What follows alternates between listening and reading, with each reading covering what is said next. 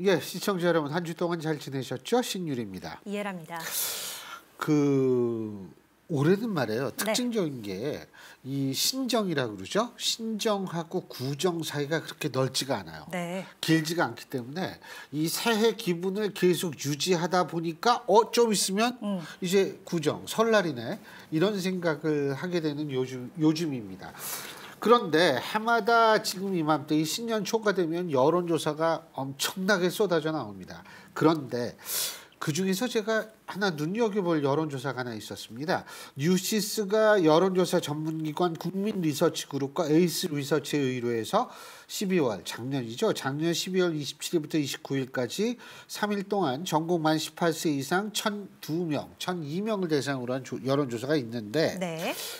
여기에서 제가 본 게 차기 총선 공천에서 새 인물로 바꿔야 된다라고 응답한 이 어, 응답한 비율이 60%였습니다.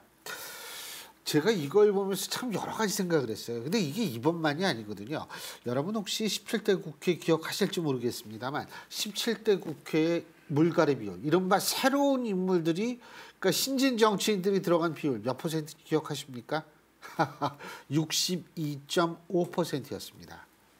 그 이후 우리나라는 평균적으로 40% 정도 지지율을 계속 유지하고 40%의 물갈이 비율을 유지하고 있었는데 여러분 우리나라 정치 많이 바뀌었습니까?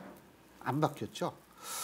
어, 미국 참고로 미국에서 가장 많이 물갈이가 됐던 게 워터게이트 사건 직후에 있었던 선거인데요. 이른바 그들을 우리는 Watergate baby라고 부르는데 33% 조금 넘었습니다. 물갈이 비율.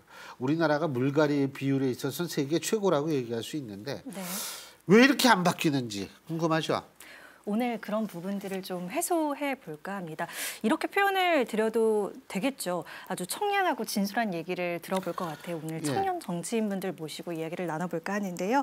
세 분 모셨습니다. 기본소득당 용해인 의원, 권지웅 더불어민주당 정비대위원, 장혜찬 청년재단 이사장과 함께합니다. 안녕하십니까? 안녕하세요. 네, 안녕하세요. 예.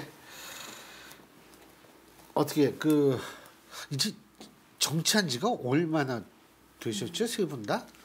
제가 제일 짧을 것 같은데요. 저는 뭐 네. 2015년부터 시작을 했어요. 아, 7년 네, 됐네요. 어느덧 7년이 되고 그맘때 7년. 사실 용해인 의원님을 만난 적이 있어요. 네, 맞아요. 네, 2015년에 한 언론사 신년 기획 인터뷰 때 예. 용 의원님과 제가 이 같이 대담을 나눴었는데 아. 그 사이 또 이 국회의원이 되시고 해서 오늘 만나서 감회가 좀 남다릅니다. 아, 그러니까 그때는 처음 방송도 막 시작하고 이럴 때였겠네. 그렇죠. 라디오 이제 막 처음 시작하면서 그죠? 했던 때였죠. 아, 그게 다행이다. 이게 좀 지금 굉장히 여유롭게 할 수 있는 그런 방송 부력이 생겼으니까. 예, 예. 아, 그럼 비슷해요? 두 두분두 사람? 저는 2010년에 이제 처음으로 정당 가입을 해가지고요. 아, 정, 2010년. 정당에 가입해서 활동한 지는 한 12년 정도 된 것 같습니다. 얼마나 되셨어요? 아 저는 원래 민달팽이 유니온이라고 청년들 시민단체에서 아, 한 10여 년 정도 있다가 2020년에 당원 가입을 하고 총선에 출마했으니까 횟수로 3년 차. 삼년 제가 차. 제일 신입 사원이네요. 근데 그 시민단체가 정치하는 곳이에요. 제가 봤을 때. 그래서 어떤 면에서 이 어떤 제도를 다루고 이런 곳이라서 예. 네. 2010년에 정당 가입하시고 입문하셨다고 했는데 또 엄청난 계기가 있으시고 지금 시작을 하시게 되신 거였잖아요. 그때 계기가 있었죠. 2010년에 이제 정당 가입을 했던 건 당시에 이제 노회찬 전 서울시장 후보, 당시 서울시장 후보를 보면서 아 저런 진보 정당이 하나 필요하다라는 마음으로 이제 당원 가입을 했던 민노당? 거고요. 아, 그때 진보신당이었습니다. 진보신당. 네. 아, 예. 그리고 제가 직접 정치를 해야겠다라고 마음을 먹었던 건 2014년 세월호 참사 이후에 어, 좀 유가족들을 협상의 대상으로 대하는 정치인들을 보면서 뭔가 좀 정치가 잘못돼도 한참 잘못됐다라는 생각을 많이 했었고 그래서 2016년에 이제 출마를 해야겠다라고 마음을 먹고 2016년 총선에 출마하게 되었습니다. 예. 계기가 네. 뭐세요? 우리 장 장, 장그 기자. 저는 사실은 정치를 해야겠다라고 제가 스스로 마음 먹었다기보다는 페이스북이라고 하죠. SNS에 이제 정치 관련된 글을 꾸준히 올렸는데 어느 날 좋아요도 막 늘어나고 이 기자님도 연락도 오고 그러다가 문득 한 라디오 프로그램에서 게스트로 한번 출연해 보지 않겠느냐라는 제의가 와서요. 그렇게 우연히 시작하게 되었고요. 라디오를 하다 보니까 어, 지금은 돌아가신 정두원 전 의원, 국민의힘 전신정당에서 활약을 많이 하셨었죠. 그러니까 정두원 전 의원의 또 부름이 있었습니다. 그래서 2016년 총선에서 정두원 의원님의 온라인 홍보 기획을 좀 총괄하는 역할을 맡으면서 여의도와 인연을 맺어서 하려고 한 건 아닌데 돌아보니 와 내가 어쩌다 여기까지 왔지 하게 된 그런 시작점을 가지고 있습니다. 제가 이 방송 생활에 정말 네. 커다란 오점이 있었네요. 인지 알았어. 아 2015년에 그 제가 그때 어, 다른 방송사에서 아침 라디오 방송을 진행하고 네, 네. 있었는데 그때 모 셨어야 되는데 제가 그때 안 모셨어요. 이건 진짜 지- 아주 큰 오점 같아요. 예.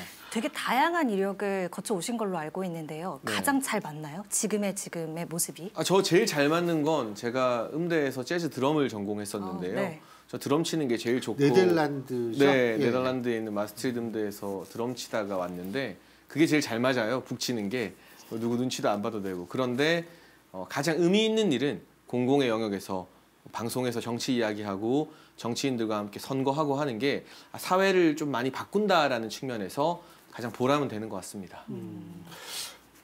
그뭐 특별한 계기가 있으세요? 우리 저는 그 신율 교수님이 라디오 할 때 민달팽이 유니온으로 인터뷰했었습니다. 그래서 교수님이 기억이 아니 나는데 죄송합니다. 아니 나이가 아닙니다. 먹을수록 이 깜빡깜빡하고 금방 금방 교수님 잊어먹고 당황하시는 그래요. 경우가 예. 별로 없는데 여러 어, 번 당황하시는 진짜, 것 같아요. 진짜 당황했어요. 아니 미리 말씀하셔야지 되게 못된 것 같아요. 아 그때 아, 아, 아. 아 니 그때 이제 청년 주거 이슈로 예. 이제 인터뷰를 했었고 저는 정치에 뛰어들게 된 거 그 예전에 구역 김군 사건이라고 예. 지하철 네. 스크린도어에 끼어 돌아가신 분 맞아요. 이야기가 있었잖아요. 근데. 이제 이분이 사실은 원래 대학을 가려고 그러니까 고등학교를 졸업하고 취업을 했다가 대학을 가려고 돈을 모으고 있었다는 이야기를 제가 어떤 취재한 기자를 통해서 이야기를 들었었습니다.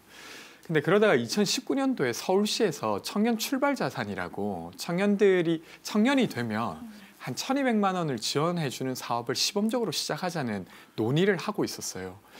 근데 제가 그때 그 논의를 좀 알고 있었는데 그 논의가 결국 부결됐고 진행이 되지 않았는데 저는 그때 그런 생각이 들었는데 만약에 청년 출발 자산과 같은 어떤 제도를 끝까지 관철시키려고 하는 정치인이 있다면 조금 더 빨리 그런 제도가 안착될 거고 그러면 구역 김군처럼 진학 그 취업을 했다가도 대학을 가려고 돈을 모으려고 아주 위험한 줄 알면서도 그 취업 시장에 계속 남아 있는 일은 좀 줄어들지 않을까 이런 생각을 하게 되었고 근데 그런 걸 부탁할 만한 정치인이 정말로 없더라고요. 그래서 이게 권력을 빌려 써서는 안 되고 직접 창출해야 정치의 우선순위를 바꿀 수 있겠다 이런 마음이 그때 들어가지고 2020년 비례대표로 집 없는 사람들을 위한 정치란 제목으로 이제 민주당으로 출마하게 됐었습니다. 그게 이제 계기가 되었죠. 그 여, 여러분 세 분이 이제 그런 계기로 해가지고 이제 정치에 발을 들여 놓으셨는데 어떻게 보세요? 그 지금 해보니까 내가 생각했던 대로 이게 좀 어떻게 돌아가고 있다. 어? 이런 느낌 받으세요? 어떻게 어떻게 생각하세요? 아 우리 권 의원부터 말씀해 주시죠. 어, 저는 대선 전후에서 좀 제가 보고 있는 정치 좀 다른 것 같아요. 두 분은 되게 오랫동안 더 이 정치에 계셨겠지만, 그러니까 대선 전까지만 해도 이렇게 양극화된 정치는 아니었던 걸로 저는 느꼈었어요. 물론 이제 당시의 야당 입장에서는 여당이 잘 못하고 있다고 비판하긴 했지만 상호 뭔가 합의의 길을 찾아 나가려고 하는 그 합의의 길을 어느 쪽으로 틀 건가의 어떤 논쟁이었다고 하면 지금은 각자 완전히 다른 세상에서 각자의 지지층을 결집시키기 위한 요구, 주장만 해도 되는 그런 정치가 벌어지고 있는 것 같아서 되게 좀 낯설다는 생각을 하고요. 근데 이대로 정치가 진행된다고 하면 저는 어떠한 생산적인 일도 못할 것 같아요. 아주 우연하게 조금 더 나은 사람이 조금 더 많은 권력은 질지 몰라도 그게 국가 전체의 지속 가능성을 담보할 것 같지 않다는 생각이 많이 들어서 요즘 되게 회의적입니다. 윤 의원님께서는 어떻게 생각하세요? 네, 물론 저도 이제 여의도에서 목격하는 정치의 모습이 제가 생각했던 것과는 당연히 다를 수밖에 없지만 그럼에도 불구하고 이제 소수 정당의 한 명 의석 하나 있는 작은 정당의 의원으로서 좀 균열을 내기 위해서 많이 노력하고 있다라고 생각하고요. 어, 방금 전에 우리 권지용 전 비대위원님 말씀하신 것처럼 저는 진짜로 딱 그 대선이라는 기점을 느끼는 게요. 그 전에 이제 제가 의정 활동을 하면서 여러 가지 이제 정책 대안들을 제시를 하잖아요. 그러면 소수정당의 의원이어도 법안 하나에 대해서 뭐 한두 번의 뭐 라디오 인터뷰, 뭐 관련된 뭐 사회적 의제화 이런 것이 진행이 됐거든요. 네. 근데 이게 어느 순간 딱 멈췄어요. 그게 언제냐면 양당의 대선 후보가 확정되었을 때. 네, 경선 때까지는 그래도 좀 이런저런 정책 경쟁들이 많이 이루어졌었는데 대선 후보가 딱 결정되니까 제가 아무리 뭔가 정책을 낸다 하더라도 이게 전혀 사회적으로 소화가 안 되는 거예요.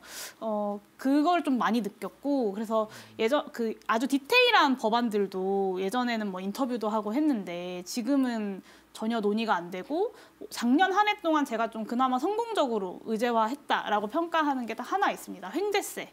그 고유가 시- 고, 고금리 시대에 은행과 전- 정유사 상대로 이제 횡재 이익에 대한 환수를 하는 이 횡재세 정도가 아주 힘들게 힘들게 의제화를 했던 내용이었어요. 근데 우리 용 의원께서는 그 한 카타르 협회 의선 친선 협회 부회장 맡고 있지 아, 않으세요? 네 맞습니다. 맞죠? 네. 기분 엄청 나빴을 것 같아요. 지난번에 월드컵 가셨어요? 저는 저는 안 갔습니다. 네. 모르셨죠? 언론 보도 통해서 알았습니다. 그죠? 네. 엄청 기분 나쁜 거죠.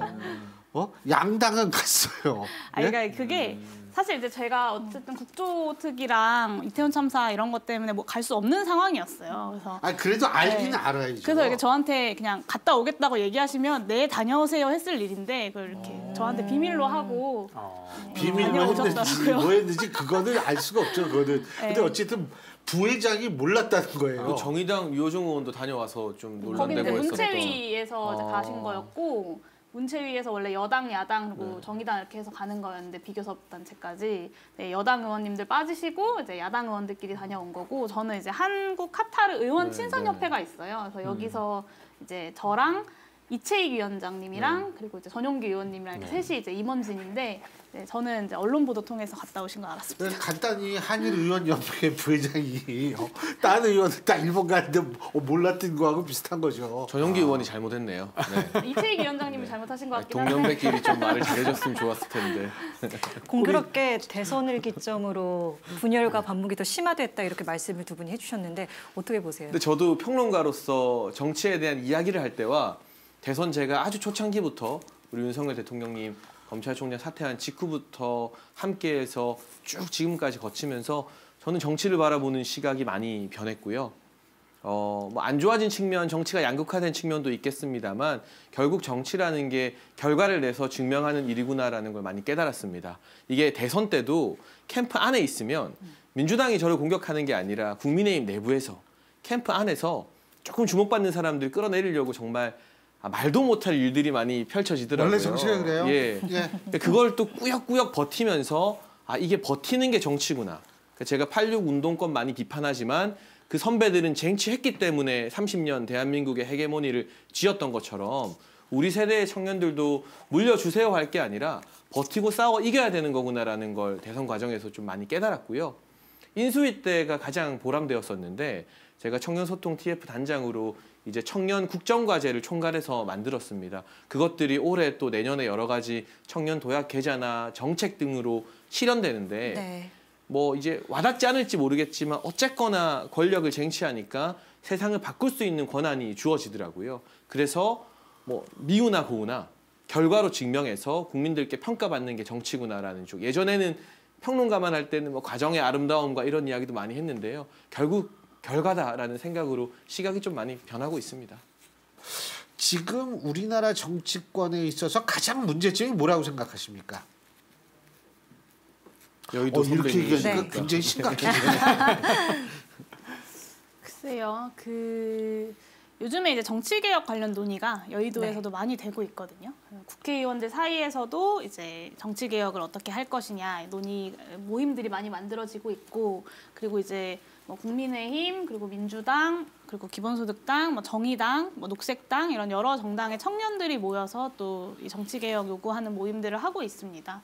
저의 고민은 이 큰 정당에 계신 분들은 당내의 개혁 그러니까 당내 공천 과- 구조, 어, 그래서 당내의 권력 구조의 개혁 이런 것들 많이 고민하시고 어, 저 같은 소수 정당에 있는 사람은 사실 공천 개혁을 위한 정치 개혁은 좀 선후 관계가 바뀐 것 아니냐. 그러니까 어, 정치 개혁의 목적이 당내에서의 어떤 걸- 공천 개혁을 위해서인가 아니면 어, 정말로 다양한 의견들이 국회 안에서 다양한 정당들을 통해서 대변될 수 있도록 하는 것이 정치 개혁의 목적인가 뭐 이런 고민들을 요즘에는 좀 많이 하고 있는 것 같습니다. 저는 뭐 민주당에 있긴 하지만 양당 독식 구조가 정치를 썩게 만드는 것 같다는 생각을 합니다. 그러니까 이게 어떻게 되냐면 예시를 들면 민주당이 잘 되려고 하면 그냥 국민의힘이 좀 잘 못하면 제가 그냥 잘 되는 거죠.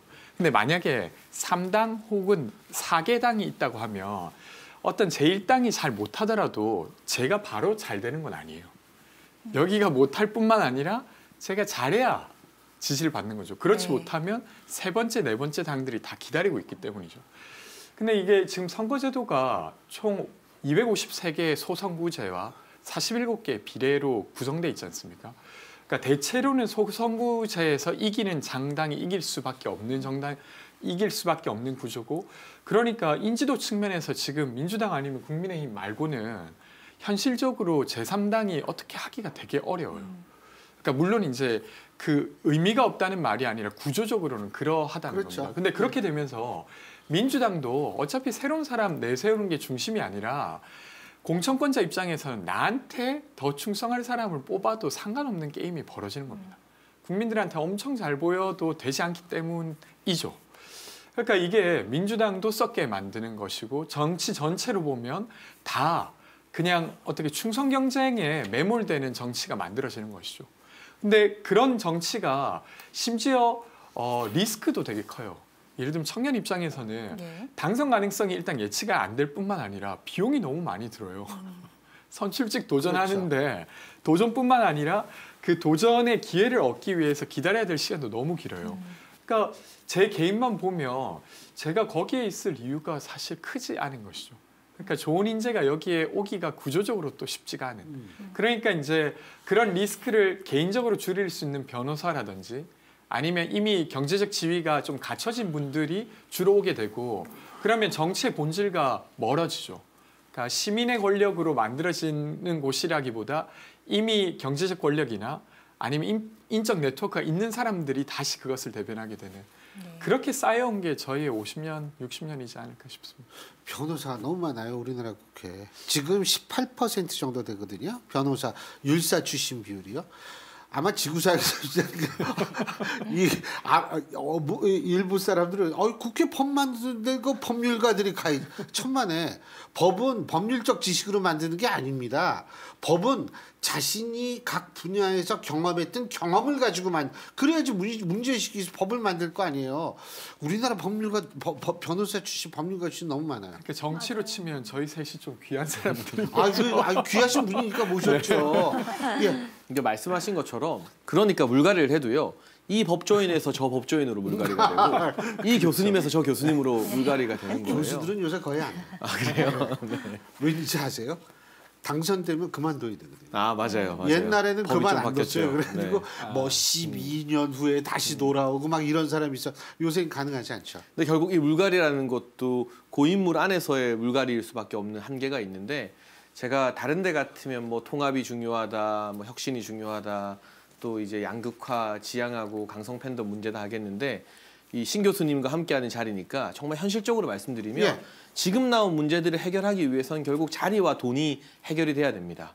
일단 자리인데요. 인기 없는 소리인 건 알지만 국회의원 의석수가 대폭 늘어나야 돼요. 이게 국회의원 의석수가 300석으로 고정된 상태에서는 동감해요. 예, 네. 절대로 뭐 중대 선거구제나 이 다당제나 이런 것들이 불가능해요. 맞아요. 이미 고착화된 기득권이 있기 때문에. 근데 이 울타리를 허물고 국회의원이 500명이 되면 특권층 500명이 넘어 500명이 생기는 게 아니라 하나의 특권을 나누는 n분의 1이 더 많아지면서 한 사람의 의원이 누리는 특권은 오히려 더 적어지는 거죠. 아마 보좌진 숫자도 적어질 거고 국민 세금도 적게 들어갈 거고 국회 들어가는 총 예산 동결하면 되니까요. 그런 식으로 자리를 확대하는 인기 없는 소리를 할 필요가 있어요. 근데 그 인기 없는 소리가 아니라 욕 먹는 소리예요. 그렇죠. 괜찮습니다. 틈만 나면 막 국회의원 100명으로 줄이겠다 이러는데 그러면 그 100명이 진짜 제왕적 국회의원이 되는 거거든요. 예, 자리를 늘려야 되고 두 번째가 돈인데요. 변호사 같은 사람들 아니라 저희 같은 청년들이 정치하고 싶으면 합법적으로 후원금을 받을 수 있어야 됩니다. 그런데 지금은 철저하게 원내 중심 정치로서 현역 국회의원만 후원금을 받을 수 있어요. 심지어 당협위원장까지 받아도 사무실도 합법적으로 못 내고요. 후원금 못 받습니다. 국회의원은 1년에 연간 1억 5천, 선거가 있는 해에는 3억까지 후원금 받습니다. 투명하게 받아서 투명하게 쓰고 다 공개하면 됩니다. 저는 정치자금법 이런 이야기하면 또 국민들이 다 싫어하시고 욕하는데 이걸 개정해서 원외 정치인들이 후원금을 받을 수 있어야 아 저 친구 방송에서 보고 괜찮네. 아 이 친구 시민단체에서 참 진실된 활동을 했네. 내가 10만 원이라도 보내야지. 이러면서 사람을 키우고 또 정치인들이 정치 지망생들이 딴 데 기웃거리지 않고 자기 생계도 해결이 되는 거거든요. 자리와 돈이라는 본질적인 문제를 언급하지 않고 뭐 제도가 어떻다, 협치가 어떻다 하는 건 다 이 수박 겉핥기라고 생각합니다. 저도 큰 틀에서 공감하는데요. 그러니까 계속 선거제도 관련 논의를 바라보면서 이게 선거 룰만 바꾼다고 되는 게 아니다. 사실은 일상생활, 일상 시기에서의 정당의 활동 그리고 일상생활, 일상 시기에서의 정치인의 활동들이 더 다양하게 보장이 되어야 정치의 정치의 물갈이, 정치의 개혁도 가능한데 지금은 일상 시기에서의 어떤 정치 활동들은 다 국회 안에서의 국회의원들의 활동 그리고 교섭단체, 거대 양당만의 활동으로 다 한정 한정지어져 있습니다. 그러다 보니 선거 때 가서 새로운 정당들이 국민들한테 인정받아서 등장하고 표를 받고 이런 게 불가능한 거죠. 그래서 정치 개혁 역시 저도 좀 비슷한 문제 의식 속에서 일상 시기에서의 정치 활동을 어떻게 더 다양하게 보장할 것인가 이 부분에서부터 시작해야 좀 진짜 의미의 물갈이, 진짜 의미의 정치 개혁이 가능하다 이런 고민들을 하고 있습니다. 저는 앞서 이야기해 주신 것이 되게 현실적이라고 생각하는데 그러니까 이게 이미 300석이 있고 여기에 253석이 이미 지역구예요. 여기에 얼마나 많은 사람들이 대기하고 있겠습니까? 그렇죠. 네. 근데 이걸 없애서 비례를 늘린다? 그게 불가능하다는 게 아니라 현실적으로 너무 어렵다는 것이죠. 그리고 이 300명이 구성된 건 제가 알고 있기로 당시에 이제 대한민국의 국민들이 3천만 명일 때 300명을 정했다고 해요. 그럼 지금 5천만인 상태라고 하면 저는 충분히 늘릴 수 있다고 생각하고 만약에 세비가 많이 든다고 하면 아까 장혜찬 이사장님께서 이야기하신 대로 전체 총액을 동결할 수도 있는 것이죠. 그래서 지금 정치개혁의 현실적인 방안이 사실은 국민들에게 좀 더 설명이 필요하겠지만 국회의원 수를 늘리는 것까지 포함해야 여의도 내에서 이 논의가 가능하겠다 싶고요. 저는 하나 더 이야기 드리고 싶은 건 모든 정치 지망생들이 선출직으로 먼저 출마하는 것을 꿈꿀 수도 있지만 그것이 아니라 당직자로 시작할 수도 있어야 됩니다. 그렇죠. 근데 대한민국의 정당은 정당법상 중앙당에 100명 그리고 중앙당이 아닌 곳에 100명 그래서 총 200명밖에 당직자를 둘 수가 없어요.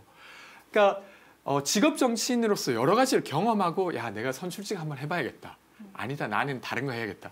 이렇게 경험할 공간이 늘어나야 되는데 예를 들면 돈이 있어도 당직자를 뽑을 수 없는 이런 구조는 전 너무 웃기다고 생각합니다.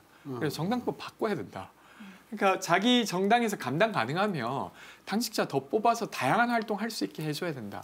이야기까지 덧붙여서. 네. 한 가지만 더 말씀드리고 싶은데 돈이 있, 있는데 사람을 못 뽑는다라고 하셨잖아요. 근데 사실 소수정당들은 돈도 없어요. 그렇죠. 그러니까 수백억의 국고보조금이 이제 경상으로 매년 나가고 여기에 선거가 있을 때마다 또 수백억이 한 번 더 나가거든요. 그래서 네. 올해는 거의 뭐 천억 정도의 보조금이 나갔을 텐데 이 중에 절반을 일당 교섭단체 둘이 나눠 먹고 시작합니다. 어, 그래서 어, 거의 교섭단체가 이 수백억의 선거 보조금을 독식하고 있는 상황이어서 더 많은 당직자들이 있어야 사실 정당을 지역에서 활동도 하고 할 것 아닙니까? 근데 그런 것이 불가능한 체제이기 때문에 이 정치개혁 이야기할 때 이 국고보조금 개혁 이야기도 빼놓을 수 없다라는 말씀을 꼭 드리고 싶습니다. 이 핵심적인 자리와 돈 이야기는 뭐 의원님 계시지만 소수 정당이니까 저희가 자리도 없고 돈도 없어서 할 수 있는 이야기고요. 일단 자리와 돈을 가진 이 양당의 원내 의원이 되면 이 이야기 안 하죠. 왜냐하면 맞아요. 대다수의 국민분들께서 진지하게 깊게 설명 듣기 전에는 좀 거부감을 느끼시고 싫어하시니까. 그렇죠. 네. 그런데 어, 저는 국회의원의 가장 중요한 임무 중 하나가 행정부 견제 감시라고 생각하는데요. 이 300명으로 행정부 감시가 불가능해요. 올해 1년 예산이 600조가 넘는데 이거 하나하나 따져서 쓸만한 예산인지 아닌지 알 수가 없습니다. 그러니까 의원들이 대충 감사하고 자기 지역구 예산 쪽지로 챙기는데 혈안이 돼 있는 거잖아요. 맞아요. 이것도 일단 물리적으로 숫자가 늘어나야 국감 때든 예산 심사 때든 기재부 관료들이나 행정부의 공무원들이 부담을 느끼게 되어 있는 거고요. 많은 분들이 국회의원들 하는 것도 없으면서 세금 축낸다고 하는데 그렇기 때문에 이 한 사람이 세금을 덜 축내도록 여러 사람이 똑같은 세금을 쓰게 만드는 의석수 확대가 정치 개혁의 출발점이라고 생각합니다. 오늘 또 윤석열 대통령이 중대 선거구제 검토 필요하다 이렇게 언급을 했습니다. 아마 용 의원님께서는 이 부분 보시고 더 가깝게 느끼시고 더 말씀하실 부분이 많으실 것 같다고 생각이 들기도 하고요. 네, 윤석열 대통령이 선거 과정에서 그래도 의미 있는 이야기들을 뭐 몇 가지 하셨다고 생각해요. 그 중에 하나가 중대 선거구제고 어, 이 정치 개혁에 대한 선거 시기의 약속을 꼭 지키셨으면 좋겠다라는 말씀을 드리고 싶고요. 근데 아까 말씀드린 것처럼 정치 개혁의 이야기가 이 선거 제도 개혁으로만 숙소되면 사실 서- 그 선거의 결과가 뭐 예를 들면 어, 뭐 3당이 나타났는데 민주당, 국민의힘, 뭐 예를 들면 이준석 신당 이렇게 하면 이게 과연 다당제인가? 그러니까 이런 그러니까 선거 룰을 바 특이합니다. 예, 예, 선거. 룰을 바꾼다고 정치가 개혁되는 것은 아니고 거기에 머물러서는 안 되고 윤석열 대통령께서도 정치 개혁에 대한 의지를 밝히신 만큼 한 발 더 나아가 주셨으면 좋겠습니다. 근데 용 의원께서는 이제 여성 정치인이기 때문에 사실은 여성계에서는 중대 선거구제에 대한 선호도가 굉장히 높아요. 왜 그러냐면 중대 선거구제를 했을 경우에 외국의 사례를 보더라도 여성의 정치 참 그러니까 실제 여성이 제도 정치권의 진입 비율이 굉장히 높아집니다. 그런데 그거 말고 다른 효과는 뭐뭐 일각에서 뭐 저 뭐죠? 저 이 좀 군소 정당들의 뭐 원내 진입이 용이 그리고 뭐 뭐죠? 그 여야에 있어서의 치열한 경쟁이 와는 저는 그거랑은 별 상관이 없을 거 없는 걸로 알고 있거든요. 왜 예를 들면 제가 항상 드는 얘기가 예를 들면 두 명 세 명 뽑는 지역구가 있다 그각 정당에서 다섯 명씩 입포시켰어요 근데 그게 그 특정 정당이 굉장히 아주 그 영향력이 조- 센 데라면 다섯 명 다 특정 정당이 돼요. 아니 세 명 다. 그러니까 그거 저는 좀 그런데 어떻게 보세요? 저도 그러니까 지금 저는 아까 지금 정치의 되게 문제 중에 하나가 반사 이익의 정치가 가능한 구조라고 말씀드렸잖아요. 그럼 이것이 극복되려고 하면 현실적으로 힘을 갖는 다당제적 구조가 만들어져야 됩니다. 근데 그 면에서 중대선거구제만으로는 답이 안 될 것 같아요. 그러니까 지금도 중대선거구제를 하고 있는 지방의회가 있지 않습니까? 근데 지방의회 어떻습니까? 그러니까 만약에 3인 지역구를 하더라도 1, 2번은 1당이 가져갔고 2번은 그 다음 당이 그냥 저절로 되는 뭐 이렇게 되고 있어요. 그래서 이 제도만으로는 저는 어렵다고 생각하고요. 그래서 저는 현실적으로 중대선거구제만을 주장할 수는 없고 비례성을 높이는 논의를 한다던가 아니면 중대선거구제를 한다 손 치더라도 어느 지역부터 시작할 것인가 뭐 이런 것들이 되게 세밀하게 설계되어야 국민들이 야 이거 다당제로 갈 수도 있겠구나 이런 생각을 하지 않을까 싶습니다. 그 지금 두 분이 이 다당제 아까부터 세분다 이제 그런 얘기를 했는데 이 다당제 권력 구조랑 연, 연계되어 있는 거 아니에요? 그리고 연동형 비례대표제 예- 예- 얘기하는데 그것도 사실은 대통령자에서 연동형 비례대표제 하는 것보다는 내각제 하에서 연동형 비례대표제를 하면 오히려 더 군소 정당들이라든지 이런 데서 연정이라든지 이런 거 통해서 되는 거 아닌가요? 어떻게 보세요? 근데 저는 개인적으로는 양당제 자체가 문제라고 보진 않고요. 예. 대통령제의 장점이 꽤 있다고 생각하는 편이기 때문에 제가 아까 뭐 의석수를 확대해야 된다 그리고 돈 문제 원외 정치인들 정치 잔고 풀어야 된다고 하는 것이 뭐 꼭 다당제를 위해서나 이런 건 아니고요. 신진 세력들의 정치권 입문을 돕는 방향으로 저는 그런 뜻을 말씀드린 것이고 개인적으로는 양당제와 이 대통령제의 부작용도 있지만 우리나라의 현실상 또 국민 정서상 이걸 무리하게 바꿔나가는데 쏟을 에너지 그 에너지를 차라리 민생이나 이런 데 더 쏟으면서 다른 방향의 정치 개혁으로 보완해 나가야 된다고 생각을 합니다. 근데 교수님 정말 적확하게 지적해 주신 게 연동형 비례제도 그렇고 중대 선거구제 다당제 같은 경우는 기본적으로 대통령제와 어울리는 형식은 아니잖아요. 그건 이제 의원 내각제나 뭐 의원 집정부제와 매칭이 되는 제도이기 때문에 이 대통령제라는 제도를 우리가 국민적 합의로 유지한다면 어떤 정치 개혁의 목적이 다당제가 돼서는 안 될 것 같아요.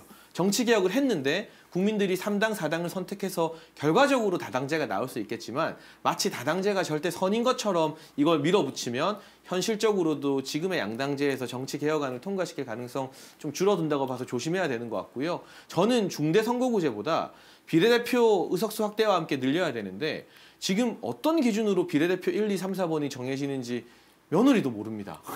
그냥 공관위 원장 혹시 아들은 알아요? 아들도 모를 것 같아요. 사이도 모를 것 같고. 그런데 뭐 제가 공부했던 네덜란드나 일부 유럽의 나라들은 개방형 비례대표제를 도입하고 있기 때문에 비례대표 후보를 쭉 내세워도 누구를 비례대표 앞순위 순번을 줄지 당원과 국민들이 투표하거든요. 이번에 이 더불어민주당 저희가 참 많이 싸우고 있습니다만 비례정당이었던 더불어 시민당, 시민당. 들어서면서 네. 민주당 내 비례대표 순번은 당내 투표를 결정했어요. 저는 아주 혁신적인 시도였다고 뭐 평소에도 칭찬을 많이 하는데.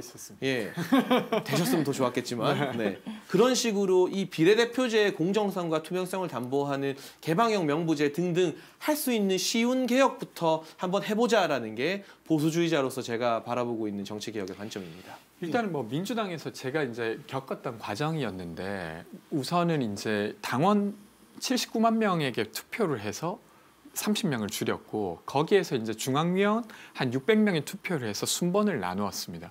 그런 방식으로 했는데 충분히 지금도 가능한 것이어서 당 자체에서 이제 그것을 기본으로 만드는 노력이 필요하다고 일단은 생각되고 저 역시도 대한민국의 대통령제가 아니라 내각제가 무조건적으로 선이냐라고 했을 때 그렇게 생각하진 않아요.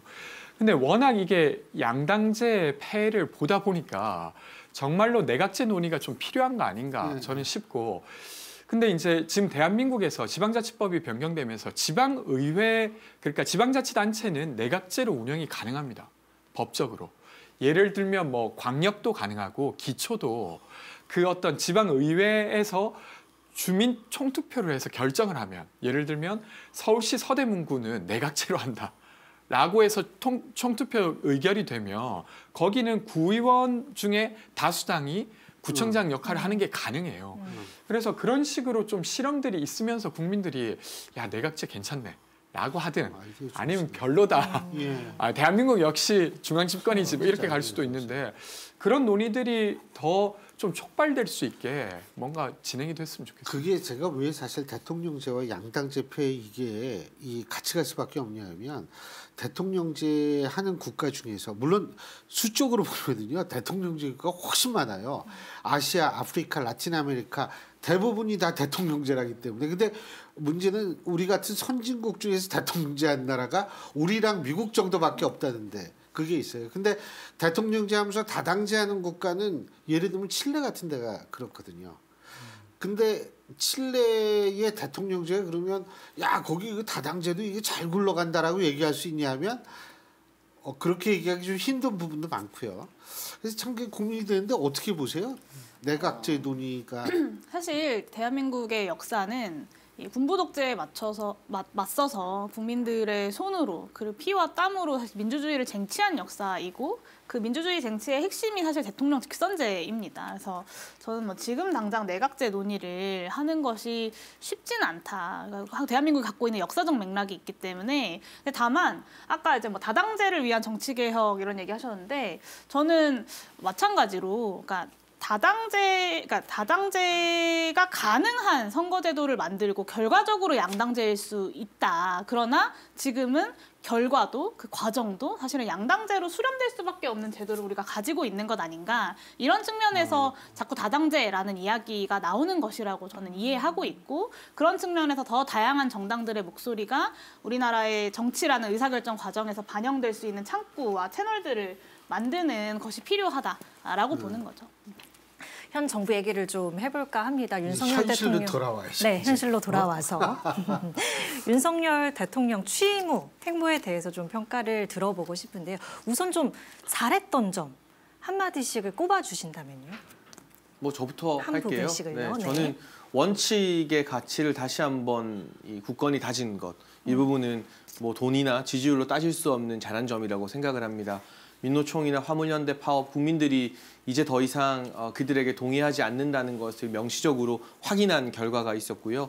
법과 원칙 물론 정치의 영역이 또 교집합으로 남아 있겠습니다만 법과 원칙이라는 단단한 반석 위에서 정치나 협치 등 여러 가지 가능성이 이 실현되어야 하는데 뭐 코에 걸면 코걸이, 귀에 걸면 귀걸이처럼 뭐 이때 저때 원칙이 흔들리는 것을 우리가 그동안 정치라는 이름으로 포장해온 것은 아닌가 하는 아쉬움을 느끼는 국민들 입장에서는 다른 부분은 몰라도 윤석열 정부에서 그 같은 이 원칙 위주의 이 어떤 국정 운영을 한다는 것 예측 가능하겠다. 이 정부는 뭐 이 방향에 동의하지 않더라도 대북 정책에 있어서 외교 정책에 있어서 또는 경제 정책이나 노동 정책에 있어서 적어도 이 길로 가겠구나라는 사인을 좀 명확히 드린 부분은 평가할 만한 부분이라고 생각을 하고요. 한 가지 아쉬운 부분을 꼽자면 뭐 야당과의 협치일 텐데 그건 여러 가지 정치 현안의 문제도 있겠죠. 하필이면 혐의가 너무 많은 분이 야당 대표다 보니까 어려움도 있을 텐데 그 부분은 또 신년에 좀 조화롭게 잘 풀어갔으면 좋겠습니다. 네. 저는 사실은 좀 아쉬운 점이 정말 많은데요. 그 중에서 그 뭐 제일 큰 것은 그러니까 정치를 실종시켰다는 게 저는 윤석열 대통령이 가장 잘못한 일 같아요. 음. 그러니까 이게 어떤 거냐면 그 저는 내부 청질 문자가 되게 상징적이라고 생각하는데 이견을 가진 자를 총질하는 사람으로 규정했어요.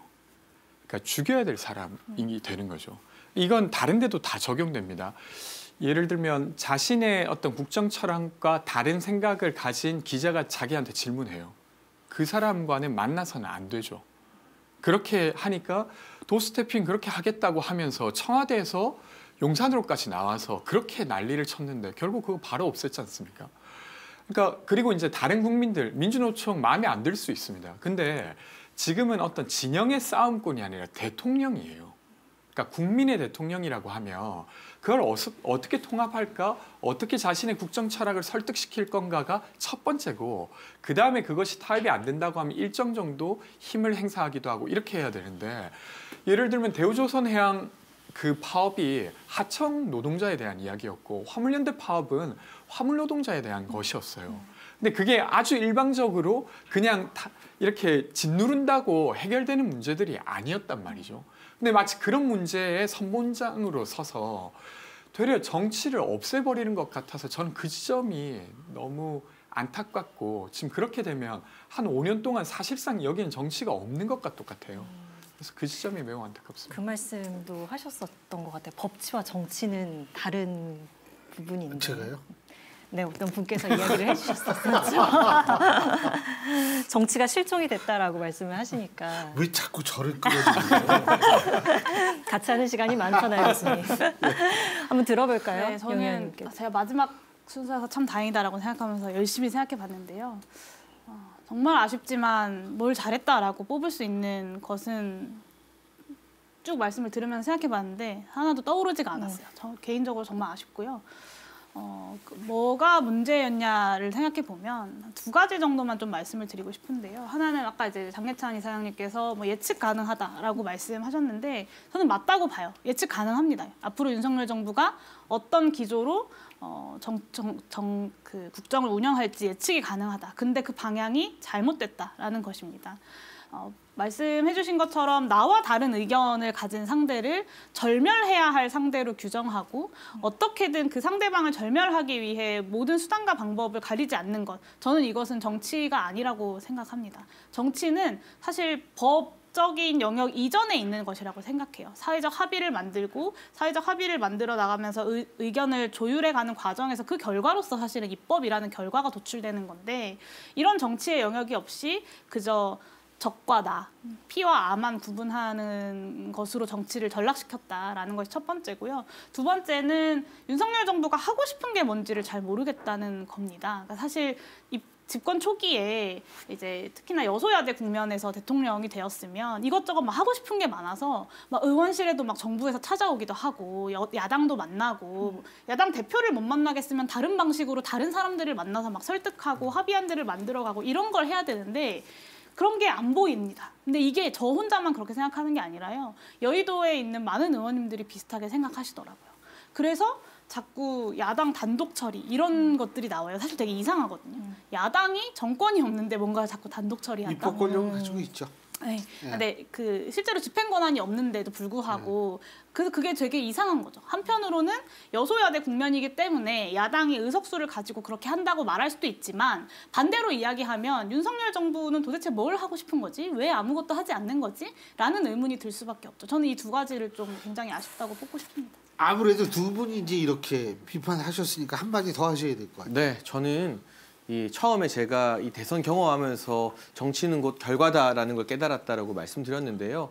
다 좋습니다. 뭐 대화도 하고 찾아가서 이야기도 하고 협치도 하고 그래서 조금씩 타협안 만들고 좋겠습니다만 정부 입법 80개를 단 하나도 통과시켜 주지 않은 거대 야당이거든요.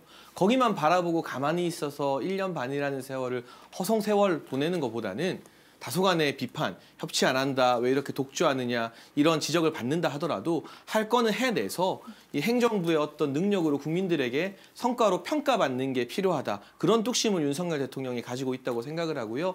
초창기에 이제 용해인 의원님 말씀처럼 정부의 그랜드 슬로건 비전이 무엇이냐 조금 모호했었습니다. 그런데 이제 인기가 없어도 할 일은 하겠다가 이 정부의 기조가 된 것 같아요. 그러한 3대 개혁에 대한 의지가 신년사에서도 나온 만큼 이 올해 한 해 동안에도 보다 구체적으로 연금이나 노동, 교육 개혁 분야에서 먼저 이슈를 던지고 아젠다를 선점하면 민주당이나 야당이 그 개혁에 동의하면 동의하는 대로 반대하면 반대하는 대로 이 정책이나 개혁과 관련된 진영이 좀 형성될 것 같아요.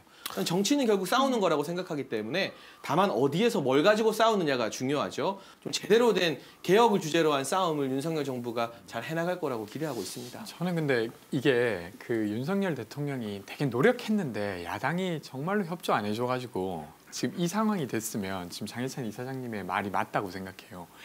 근데 민주화 이후에 대통령 중에 240일째 오늘이 239일인가 됐는데 이때까지 야당 대표를 안 만난 대통령이 윤석열 대통령이 유일합니다. 그러니까 그런 시도를 저는 안 한 것 자체가 그러니까 입법 입법부를 무시하는 것일 뿐만 아니라 다른 의견을 가진 집단을 이해하려고 노력하지 않는다라고 볼 수밖에 없다고 생각해요. 질문 잠깐 있습니다. 사법 리스크 때문에 일각에서는 사법 리스크를 야당 대표가 가지고 있기 때문에 대통령이 만나면 어 여러 가지 이 잘못된 메시지에 대한 해석이 구구절절 나올 수 있기 때문에 일단 안 만난다 이런 얘기가 있는데 그, 그 부분에 대해서 어떻게 보세요? 저는 말이 안 된다고 생각하는 게 예를 들면 윤석열 대통령이 뭐 만난다고 해서 뭐 사면을 시켜줄 겁니까? 뭘 할 겁니까? 수사 수사 에 있어서의 메시지가 나올 수가 있다. 네, 저는 그렇게 보진 않고 되려 뭐 김건희 여사도 경찰 관련해서 행사 다 가시잖아요. 그게 어떤 경찰의 수사를 뭔가 우회적으로 하지 못하게 만드는 조치일 수도 있, 있다는 우려가 있었음에도 불구하고 김건희 여사는 김건희 여사의 일을 하는 것처럼 윤석열 대통령은 윤석열 대통령의 일을 해야 되고 그리고 야당 대표를 만나기가 어려우면 원내 대표를 만나든 사무총장을 만나든 왜 방법이 없겠습니까? 그래서 저는 그건 뭐 말이 안 된다고 생각하고 네, 제가 팩트 체크 먼저 해드리면 지금 김건희 여사님 수사는 경찰에 머물러 있는 게 없습니다. 검찰 단위로 넘어간 지 상당히 오래되었고요. 김건희 여사님께서는 검찰 관련 행사에는 가신 적이 없죠. 그리고 이 수사는 지난 정부에서 그야말로 1년 6개월 이상 탈탈 털었지만 결과를 못 냈던 것이고 사실 이 윤석열 대통령님께서 국회 시정연설 등 방문하시면서 그 당시 민주당 지도부에게 마포에서 돼지갈비에 김치찌개 하자라고 했는데 대화도 거부하고 시정연설 들어오지도 않았던 게 민주당입니다. 그런데 이제 와서 뭐 대화 이야기, 협치 이야기 하려면 좀 민주당의 전향적인 태도 변화도 필요한 것 같고요. 뭐 이게 전부는 아니겠지만 이재명 대표 역대 야당 후보 중에 이렇게 많은 혐의로 수사받는 후보 야당 대표 처음이잖아요. 그러한 특수성도 조금은 고려가 돼야 될 것 같습니다. 갑자기 김치찌개 얘기하니까 배가 고파지는데 자 네, 시간이, 거진 다 됐죠? 네, 마지막 질문을 좀 드려야 될 것 같습니다. 뭐 새가 됐습니다. 어느 정도 길게 얘기하셔도 시간은 돼요. 네. 국민들의 염원이 올해는 조금 더 나아져야지 더 간절하고 큰 상황인 것 같은데요. 올해 정치권에서 꼭 이것은 이뤄야겠다, 이뤄져야 한다라고 생각하는 부분을 들어보고 싶네요.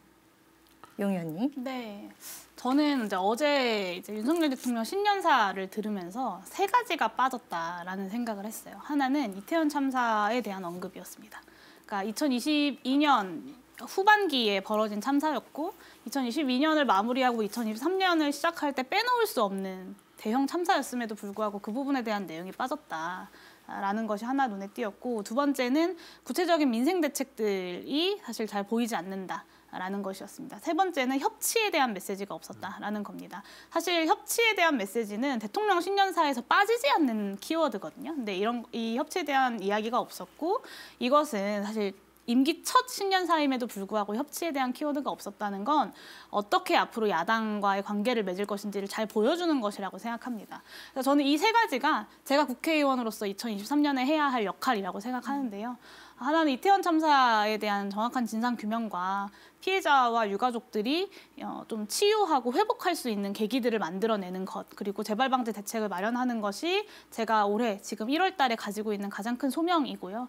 두 번째는 어, 작지만 작은 작지만 강한 어떤 대한 정당으로서 네. 구체적인 민생 대책을 가지고 어, 정치권의 대형, 거대 정당들과 경쟁하는 것. 이, 이것이 두 번째입니다. 세 번째는 어, 이거는 뭐 윤석열 대통령께 요청드리고 싶은 건데요. 이재명 대표를 만난다고 해서 그것이 수사의 메시지가 될 것이라는 건 아무도 그렇게 생각하지 않을 겁니다. 대- 검찰총장에서 대통령으로 직행하신 분입니다. 그 누구보다 검찰 권력을 가장 그립감 있게 쥐고 있는 대통령이기 때문에 그런 대통령이 이재명 대표를 만난다고 해서 그게 그렇게 연결되겠습니까? 어, 협치라는 가능성을 여는 것이 저는 정치의 어떤 어, 가능성이라고 보고요. 협치의 가능성을 열 수 있는 모습을 대통령께서 좀 몸소 보여주셨으면 좋겠습니다. 예. 하나는 국민의 고통에 공감하는 정치가 되었으면 좋겠어요. 그 면에서 이태원 참사는 빼놓을 수가 없는 사안이라고 생각하고 저는 이태원 참사 유가족분들의 뉴스를 보면 너무 마음이 미안해요. 근데 이 미안함을 국가가 좀 더 미안해 해줬으면 제가 좀 덜 미안하지 않았을까 하는 이상한 생각도 하는데 국가가 전혀 유가족들을 위로하지 않으니까 제가 더 미안해지는 것 같아요. 그래서 더 기억해야 되겠다 싶은데 이런 역할을 하는 게 원래 정치고 국가라고 생각합니다. 예. 그것을 회복했으면 좋겠고 두 번째는 어, 민주당에게도 필요한 것인데 기득권을 내려놓는 조치를 좀 하면 좋겠어요. 저는 지금 어, 역대 어느 때보다도 정치에 대한 환멸이 커지고 있는 시기라고 생각하고 거기에 민주당 책임이 있다고 생각합니다. 근데 더 나아질 것 같은 비전을 못 보이고 있기 때문이라고 생각해요. 그러면 그런 비전을 보일 수밖에 없는 구조를 만들어내는 게 지금 기득권이 가, 기득권을 가진 자들이 할 수 있는 거고 저는 제대로 치면 선거제 개혁과 연결된다고 생각합니다. 그래서 올해 4월까지 어, 정치개혁 특위가 일단 활동을 하기로 했고 그때까지 조금 더 집중해서 윤석열 대통령이 조선일보 인터뷰에서 중대선거구를 언급한 바 그런 이야기들이 좀 적극적으로 나오는 해였으면 좋겠습니다. 예. 네. 네, 저는 승복과 개혁이라는 키워드를 좀 던지고 싶습니다. 일단 정치에서 결과를 인정하는 승복이 참 중요할 것 같은데요. 제가 바라봤을 때 지금의 민주당은 지난 대선 결과 그리고 지선 결과로 드러난 민심에 승복하지 않고 있는 것 같아요. 그러니까 견제 정도가 아니라 사사건건 정부가 하는 거 다 안 된다라고 발목을 잡고 있는데 야당이 이 올해에는 이 민심을 좀 겸허하게 받아들여서 그래도 선택을 받은 새 정부가 하는 일 도와주는 역할을 했으면 좋겠고요. 여당과 정부는 또 나름대로 그때그때 주요 현안마다 드러나는 민심에 대해서 겸허히 승복하고 국민들이 최- 이 회초리를 때리면 좀 아파하는 척이라도 하는 이 승복하는 정치권 문화 보고 싶습니다. 또 개혁은 이 정치 개혁보다 저는 민생 개혁 이야기를 하고 싶습니다. 이 올해 글로벌 경기 불황일 거라는 건 많은 전문가들이 예측을 하고 있는데 갑자기 우리나라 경제만 막 좋아지진 않을 거예요. 그렇다 하더라도 정치권이 해야 할 일을 반드시 해야 합니다. 대표적인 민생 개혁이 바로 연금 개혁인데요. 물론 연금 개혁 한다고 하면 인기는 좀 없어질 수 있겠습니다만 지난 5년 동안 하나도 손대지 않았던 연금 개혁 이번 정부에서 지금이라도 하지 않으면 그 산더미 같은 부담이 다 미래 세대의 몫이 되기 때문에 민생과 직결되는 연금 개혁에서 분명한 성과를 내는 2023년이 되었으면 좋겠습니다. 예, 어쨌든 뭐 세 분 아직도 젊고 진짜 앞으로 갈 길이 창창하시고 2023년은 바로 앞으로 나아가는 이 쭉 하는 과정 중에 또 하나의 부분이라고 생각을 합니다. 그래서 앞으로 좀 잘 나갔으면 좋 나가셨으면 좋겠어요. 그 잘 나간다 이게 잘못 들으면 안 되는데 독일어로 새해 복 많이 받으세요가 뭐냐면 구텐 루치거든요. 구텐 루치라는 게 뭐냐면 잘 미끄러져라 이거예요. 예. 근데 우리나라에서 잘 미끄러져라 그러면 이 사람이 뭐 이렇게 생각할 수도 있는데 그만큼 미끄러져 가지고 잘 나가라 이 얘기거든요. 세 분 모두 그런 미래가 됐으면 좋겠습니다. 오늘 세 분 말씀 잘 들었습니다. 고맙습니다. 고맙습니다. 예, 에, 저희가 오늘 아주 젊으신 세 분하고 얘기를 하니까 아, 뭐 제가 젊어지는 느낌은 아니지만 분명한 건 정치에 있어서 혼돈의 정치, 투쟁의 정치 속에서 전 희망을 볼 수 있었다고 생각합니다. 네. 중요한 건 희망을 볼 수 있다는 사실이겠죠. 네, 맞습니다. 오늘 귀중한 시간이었고요. 저희는 다음 이 시간에 인사드리겠습니다. 함께해 주신 여러분 고맙습니다. 고맙습니다.